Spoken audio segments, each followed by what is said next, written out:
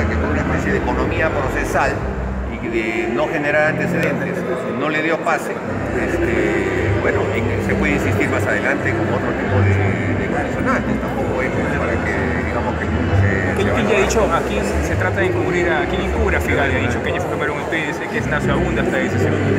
Claro, ya, bueno, sí, ya dicen este, todo tipo de cosas, pero lo cierto es que es un tema que aunque el Congreso no lo vaya a investigar, afortunadamente existe libertad de prensa en nuestro país y lo están investigando. ¿No se puede considerar cuál es ¿Se puede considerar? Yo creo que sí. ¿Se apoyaría esta reconsideración? Cuando se habla de, de, de, que el Congreso puede informar de un tema de interés, no se enmarca específicamente dentro de lo político.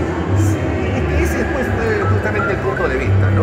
La Constitución dice que se puede investigar cualquier tema de interés público, entonces algunos dicen cualquier tema, otros dicen, bueno, cualquier tema, pero relacionado con la función pública, que dicen otros, ¿cierto?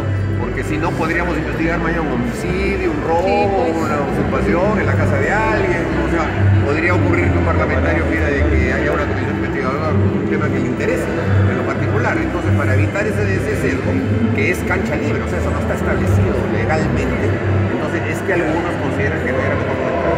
Yo considero que eh, es verdad ese argumento, pero al mismo tiempo hay temas que son privados, que no, son, que no tienen que ver con funcionarios públicos, pero que sí tienen una enorme relevancia social.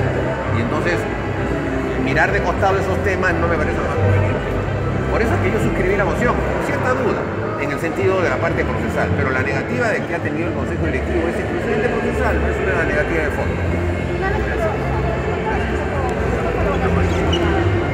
Bueno, el representante del Consejo Directivo de mi bancada, Javier Velázquez, que él es el vocero y el voto Sí.